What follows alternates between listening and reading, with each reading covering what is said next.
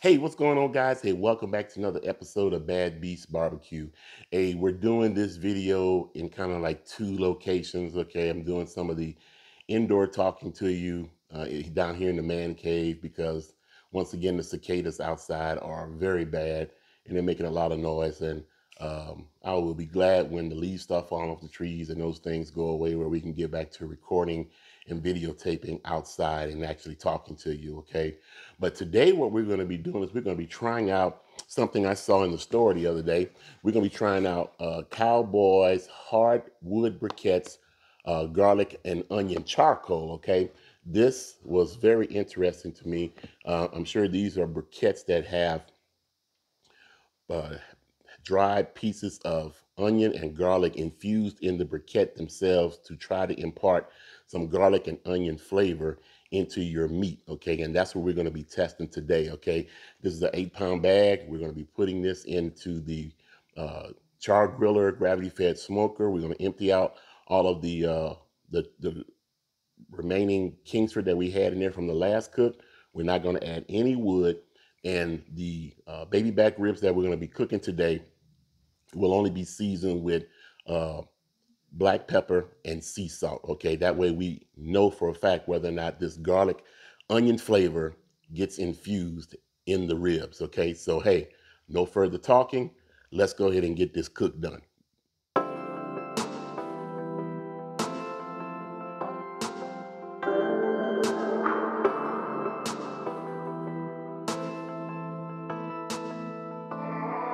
you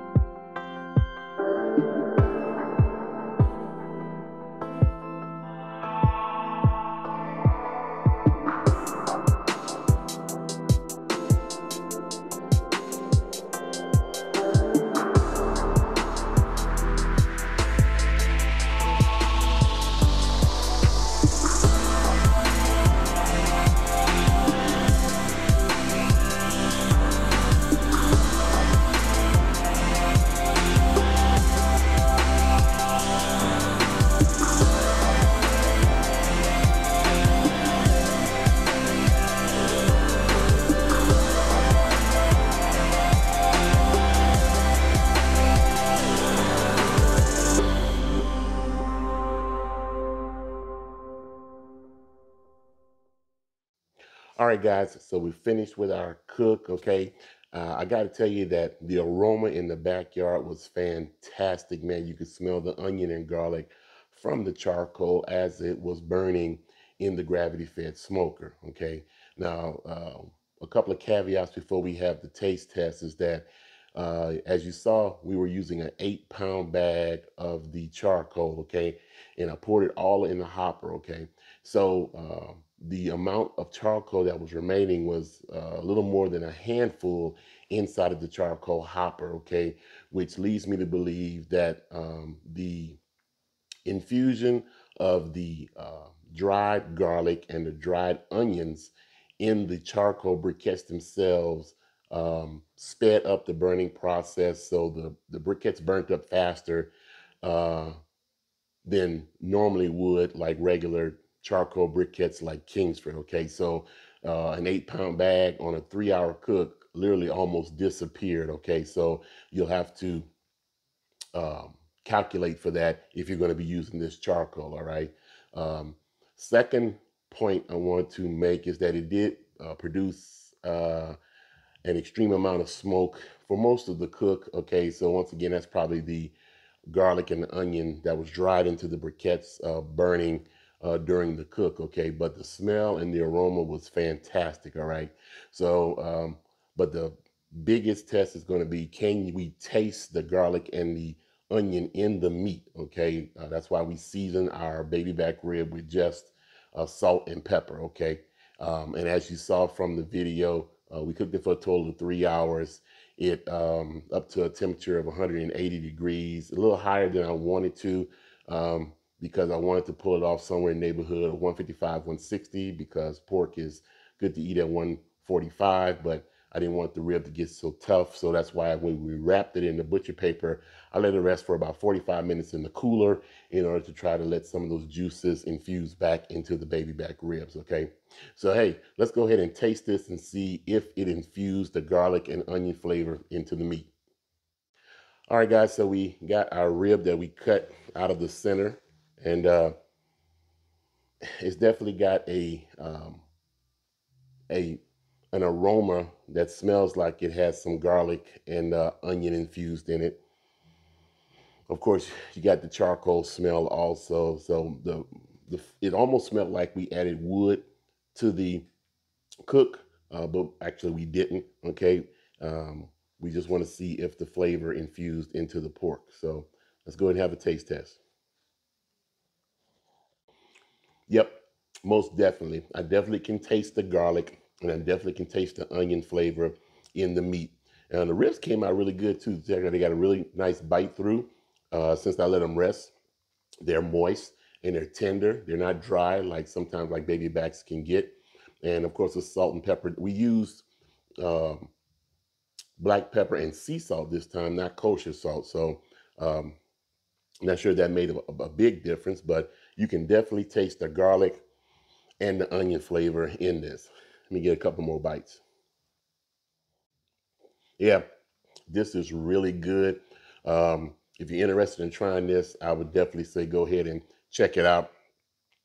Uh, Cowboy has some other flavors uh, that I'll put up here on the screen, like apple and so forth and so on. But the, the garlic and onion was very interesting. That's why I picked up a bag of it. Like I mentioned before, it's only an eight pound bag. So if you're gonna be using a gravity fed smoker, then it'll probably only last for last you about three and a, three, three and a half hours at the most. And we cook these at 225 degrees on the char griller. Okay.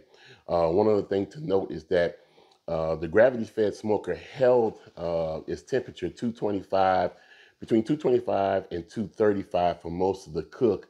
However, when I went back at the end, the temperature had gotten all the way up to 290 degrees.